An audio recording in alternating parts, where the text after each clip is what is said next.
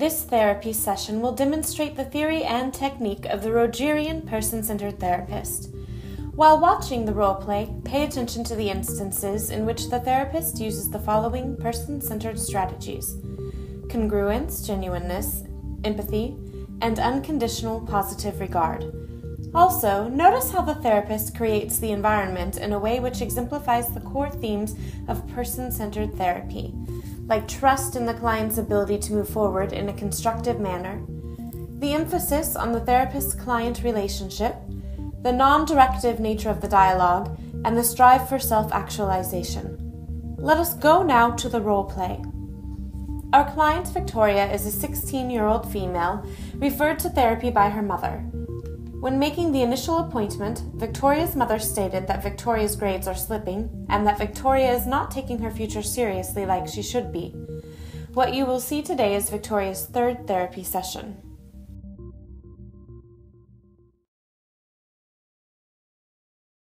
I'm feeling very stressed out lately, a lot of tension. Can you tell me more about that?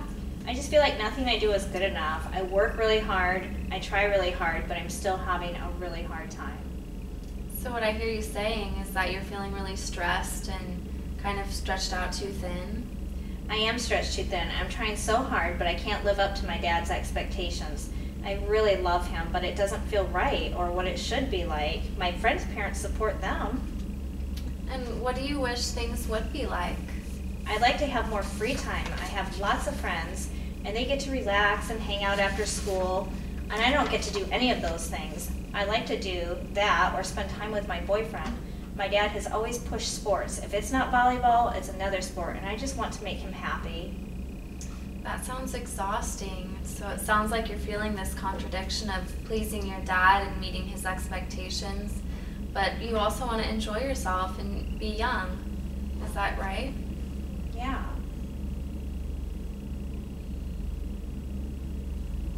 So that must be really frightening to be so confused about your dad's expectations, and I also imagine you feel pretty frustrated with him. Yeah, I am frustrated with him. If I don't please him, it makes me feel like I'm not good enough. Mm-hmm. What do you think your dad wants you to be like? Well, he wants me to be in really good shape, make the best of grades, graduate with honors so I can get into a really great school, and I know he just wants the best for me, and I want to make him happy. Wow, I can really hear you really love your dad, don't you? Yeah, which is why not living up to his standards is so hard. And so it's this feeling that only a part of you is acceptable. And that doesn't leave much room for you to be human, does it? No, it's like he wants me to be perfect, perfect like those women in the magazines. And if his love for you is based on a picture, then what's the good of that? You're right, it is no good. I can't ever be good enough for him. I can't ever live up to his expectations. And we have this college visit coming up. I feel like college is too far away, it's too far into the future. I feel like it's too much pressure, and I'm not even sure if that's where I want to go to school. I could visit at any point, but it's this weekend. My boyfriend was going to take me to a concert that all my friends are going to. I want to enjoy my life, not worry about the future. My dad said we had to go now, even though he knows about the concert this weekend. What should I do? It's not where I want to go anyway, but I can't tell my dad. I could never tell him that's not where I want to go.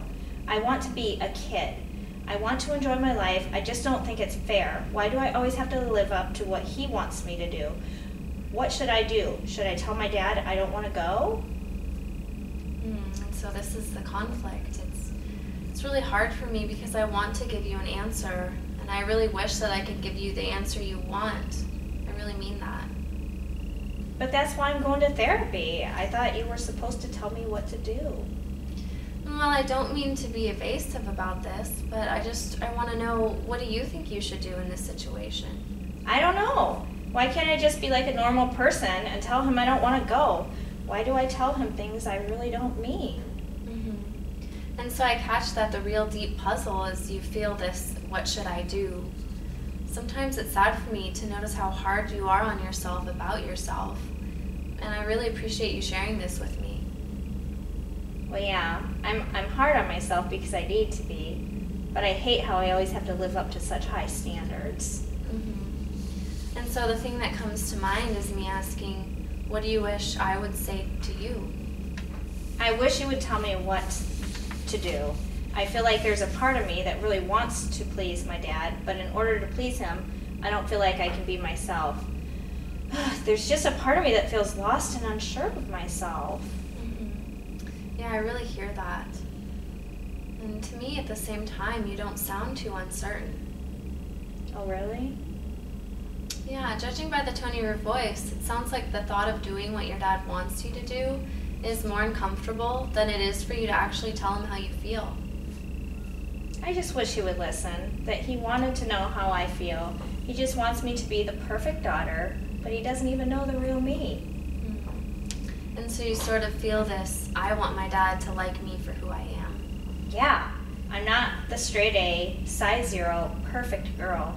And I can never be good enough. I can never be smart enough or skinny enough. And what I think I'm hearing you say is that you'd like to feel accepted for your dad.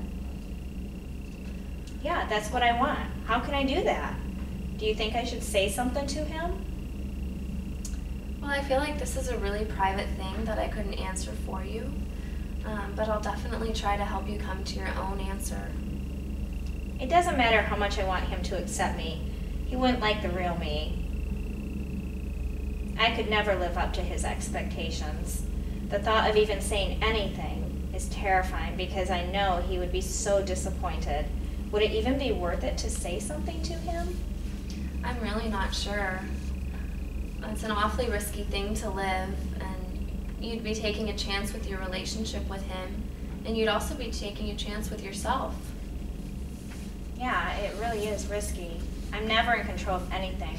Sometimes I feel like the only thing I have control over is food. That sounds really upsetting. I think what I'm hearing you say is that by controlling food is the only way that you feel that you can make a choice for yourself. Even just talking about it right now is making me really tense because it's making me think of everything I ate today. Counting the calories is one of the only things that makes me feel better because it's something I can control. Mm-hmm. So you're feeling anxious at the moment and like your only relief is in controlling what you eat. I guess that's the only thing my dad can't control that it's just mine. I don't think that's right. I wish I didn't have to be so hard on myself and I could eat like everybody else does. Yeah, so it's quite clear that the problem isn't just with your dad or your relationship with him, but it's also in you as well. And, um, and this question of how can I accept myself?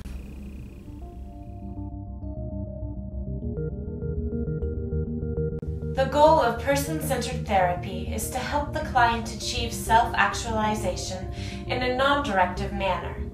While it is necessary for the client to lead the session, the therapist can support the client in the client's journey. In the session with Victoria, the therapist did this by demonstrating Carl Rogers' approach through the use of congruence, genuineness, empathy, and unconditional positive regard.